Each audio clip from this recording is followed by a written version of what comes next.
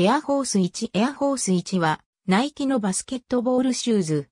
ナイキエアを搭載した世界初のバスケットボールシューズであり、1982年に発売された。デザイナーはブルース・キルゴア。ヒールに備えたエアクッションやアウトソールのピボットポイント、フィッティングを高めるためのアンクルストラップなど、発売当初のバスケットボールシューズとしては、最新鋭の機能を備えていた。ヒールにエアバッグを内蔵することにより、本来であれば不安定な履き心地となるところを、シューズ全体に約5度の傾斜を加え安定感を得ることに成功した。またミッドソール内部をハニカム構造にすることで軽量化を図るといった工夫もなされている。発売当初はハイカットのみのラインナップであったが、少し遅れてローカットが販売される。次第にストリートカルチャーに定着するに従い、よりファッション性を重視したミッドカットが1994年から発売されるようになった。最初期モデルは白のアッパーにシルバーのスーッシュを持つハイカットであり、サイドパネルは一部メッシュ仕様となっていた。甲のベンチレーションホールは当初存在しなかったが、選手の要求により後に設けられることとなった。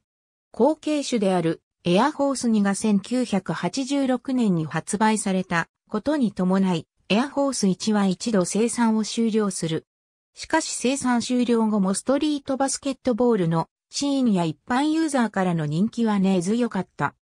ボルチモア地区にある3つのシューズショップ、チャーリールドスポーツ、ダウンタウンロッカールーム、シンデレラシューズの3店舗は、ナイキ本社に直々にエアホース1の再発売を申し出た。すると、1カラーあたり1200足販売することを条件に、このボルチモアの3店舗限定でエアフォース1の再発売を行うことが許可された。再発売されるや、否や、噂を聞きつけたユーザーたちが、東海岸からボルチモアまでエアフォース1を購入しに訪れるようになった。以後、1990年代からは、ボルチモア地区以外でも正式に再発売が解禁された。またこの間の1988年に最初のオリジナル版の復刻が行われた。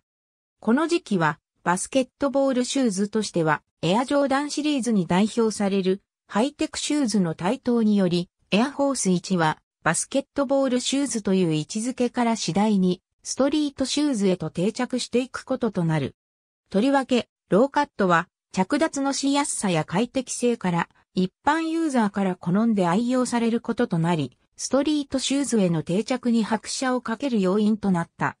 様々な様相を見せるエフォス1バスケットボールシューズとしての一面があるにもかかわらず、上述したようにストリートカルチャーとも密接な関係を持つシューズである。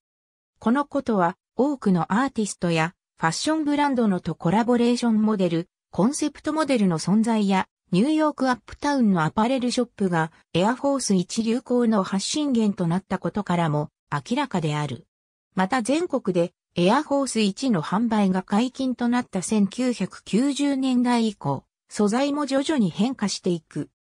アンクルストラップがレザー素材となったことや、靴紐に金属製デュブレが追加され、アッパーに用いる素材もキャンバス、パテント、ヌバックなどの様々なバリエーションが登場し、ストリートにおける人気シューズとしての地位を確立した。近年では、ウルトラソールやルナロン素材を搭載し軽量化したモデルや、アッパーにフライニットを用いたモデル、ミリタリーブーツから着想を得たデザインなど、快適性や機能性を追求したモデルも数多くラインナップされている。エアホース1発売年の1982年、ナイキが販売促進のため6人の NBA プレイヤーを選出し、各人にオリジナルのエアホース1を配給した。